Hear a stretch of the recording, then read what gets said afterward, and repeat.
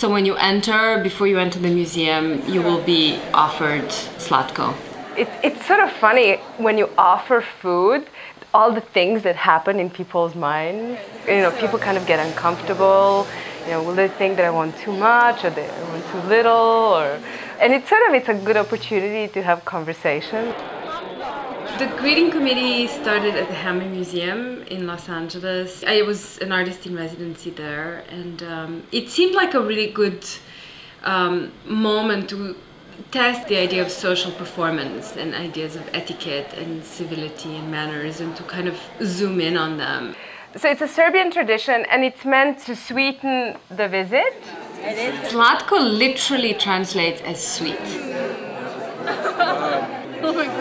It is also supposed to sweeten your tongue, meaning, well, I will give you this to sweeten your first impression or to bribe you. I like the word bribe you. Oh, wow. One really important thing to say that it is made by the curator's mother and the staff from my mother's recipe.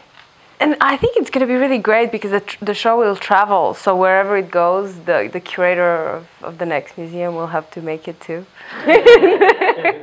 People really appreciate it when you've gone through the effort of making it yourself. Hospitality and the idea of host and hostage is etymologically very close. So you could be like an overly eager host that you know makes the guest into a hostage so i think there's a lot of very dark sides to hospitality is this a, just an empty action like is this a just performance or is this coming from a, like a real place of like i don't know like openness and like willing to be open rather than sort of just going through the protocol of the traditions include a sense of transparency to the gesture, which is like, why exactly are we doing this? Like, why do we make an effort to be nice with people? Because we want people to like us. Hospitality, it's sort of ephemeral. It's, it's not something that you see or you read, but it is something that you feel.